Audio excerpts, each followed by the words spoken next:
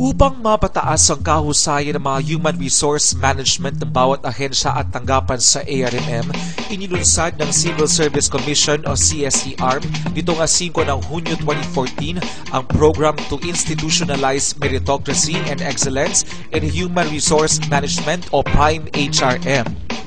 Dinaluhan ito na humigit kumulang 80 ng mga kinatawan ng iba't ibang sangay ng pamahalaan ng ARMM na nagmula sa probinsya ng Maguindanao at Lanao del Sur.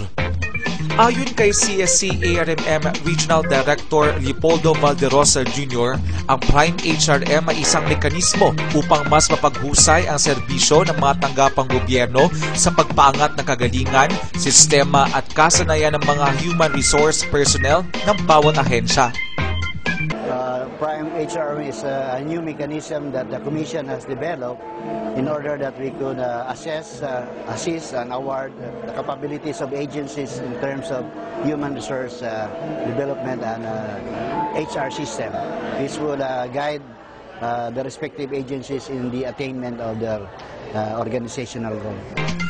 Kaakibat ang nasabing programa ang tatlong hakbang para sa pagpapataas ng antas sa usaping human resource development sa pamamagitan ng pagtatasa, pagbibigay tulong teknikal at pagbibigay ng parangal sa mga ahensyang nakakaangat ukol dito. Actually, yung seminar na ito natataon kasi nga sa Prime HR na po.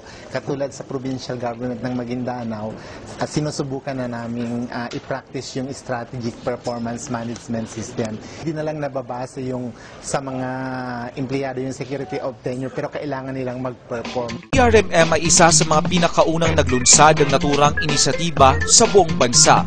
Mula sa Autonomous Region in Muslim Mindanao at Bureau of Public Information, ako si Mark Anthony Uy para sa The Working ARMM Government.